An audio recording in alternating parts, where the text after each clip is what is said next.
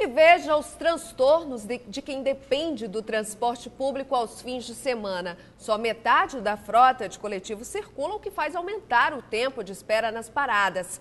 Sábado e domingo, os passageiros enfrentam as mesmas dificuldades da semana.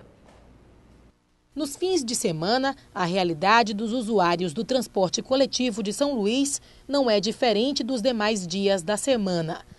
A redução da frota de coletivos deixa paradas lotadas e passageiros irritados nos principais pontos da cidade. Final de semana é complicado. É, sempre eles reduzem a frota.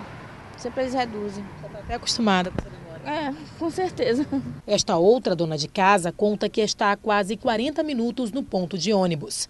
Espera que assusta e parece interminável aos domingos. É um caos, né? É, muita gente nas paradas, fim de semana que a gente tira para ter uma vida social, nem pode, que passa o tempo todo na parada. O domingo é o único dia da semana em que o valor da passagem é reduzido pela metade.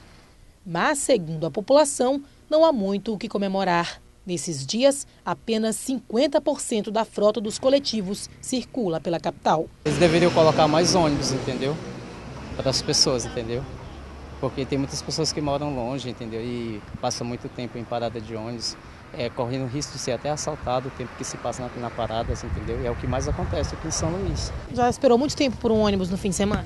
Demais, principalmente para mim que mora em São José de Ribamar, já caiu quase uma hora já esperando o ônibus.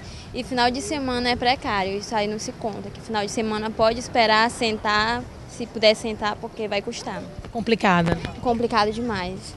A demora na espera dos coletivos já foi motivo de diversos protestos em São Luís, como aconteceu no mês passado quando uma mulher mobilizou centenas de pessoas e interditou parte da Avenida Beira-Mar após esperar quase duas horas por um ônibus da linha Calhau Litorânea.